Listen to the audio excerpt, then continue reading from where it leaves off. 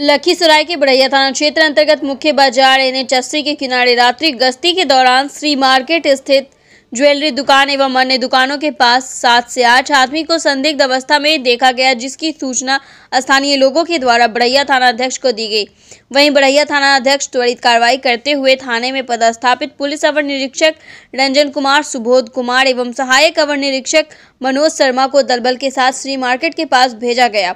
वहीं पुलिस बल के द्वारा श्री मार्केट को घेर कर छापेमारी की गई तो वहाँ पर संदिग्ध व्यक्ति जंगल की ओर भागने का प्रयास करने लगे, जिसमें से एक व्यक्ति को पुलिस ने पकड़ लिया। एवं अन्य अंधेरा और कुहासा का लाभ उठाकर भागने में सफल रहे। वहीं पकड़े गए व्यक्तियों की जब तलाशी ली गई तो उनके पास से एक देसी कट्टा एवं दस ज़िंदा गोली बरामद हुए।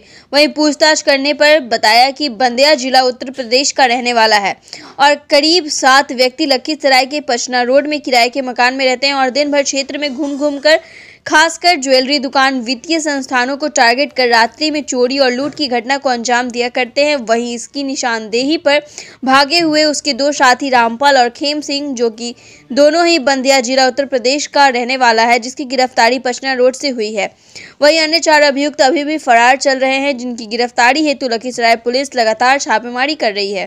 कल और घटना हुई थी बढ़ैया बाज़ार में इसमें एक जो सोना चांदी का दुकान है, उसमें एक चोर ने चोरी करने का प्रयास किया। जिसमें लोगों को पता लगा, उनके द्वारा पकड़ा गया। और उसको पकड़ने के बाद पुलिस ने उसको अपने हिरासत में लिया है, उससे बाद में पूछताछ करने पे दो लोग और उसके निशानदेही पे पकड़े गए हैं।